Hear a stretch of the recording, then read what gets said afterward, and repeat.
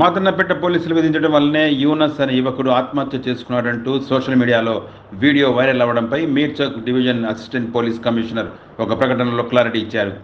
పోలీసుల కథనం ప్రకారం రెయిన్ బజార్లోని ఎస్ఆర్టీ కాలనీ ఇస్లామియా కళాశాల ఎదురుగా నివాసం ఉంటున్నాడు యూనస్. అయితే ఇటీవల యూనస్ మేనలుడు షేక్ కైఫ్బై రెయిన్ బజార్ పోలీస్ స్టేషన్లో పోక్సో కేసు నమోదై నాన్ బెయిలబుల్ వారెంట్ జారీ అయింది. ఈ క్రమంలో కోర్టు జారీ చేసిన వారెంట్ను అందించేందుకు రెయిన్ బజార్ కానిస్టేబుల్ యూనస్ ఇంటికి వెళ్ళారు. అయితే ఆ సమయంలో షేక్ కైఫ్ ఇంట్లో లేడు. కైఫ్ వచ్చిన తర్వాత వారెంట్ విషయం తెలియజేయాలని సదరు కానిస్టేబుల్ యూనస్ అతని బంధువులకు చెప్పి వెనుదిరిగాడు. యూనుస్ మరణం వెనుక వేరే ఇతర కారణాలు ఉన్నాయని తాము వేధించడం వల్ల అతను ఆత్మహత్య చేసుకున్నాడనేది సరికాదని పోలీసులు పేర్కొన్నారు. యూనస్ ఆత్మహత్యపై కేసు నమోదు చేశామని దర్యాప్తులో వాస్తవాలు తెలుస్తాయని అన్నారు. సోషల్ మీడియాలో అవాస్తవాలను వైరల్ చేయడం తగదని పోలీసులు అంటున్నారు.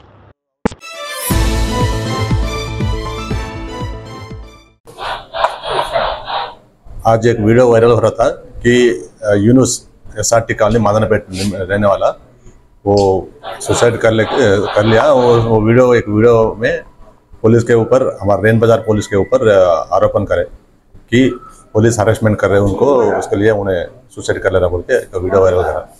लेकिन इसमें सच क्या है बोले तो इनका दाम इनका भांजा है कैफ शेख कैफ उन्हें रेन बाज़ार पीएस में एक केस उनके ऊपर एक केस है और मादनापेट पीएस में केस है।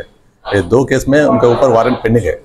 वो कैफ के लिए उनका भांजे के लिए एक हमारा कांस्टेबल कोर्ट का नाम वारंट कांस्टेबल एक हफ़्ते पहले गया था उसके घर को। वो इन्फॉर्मेशन देने के बाद उनके बारे में इन्फॉर्मेशन लेने के लिए गए थे। उसके बाद नहीं गए।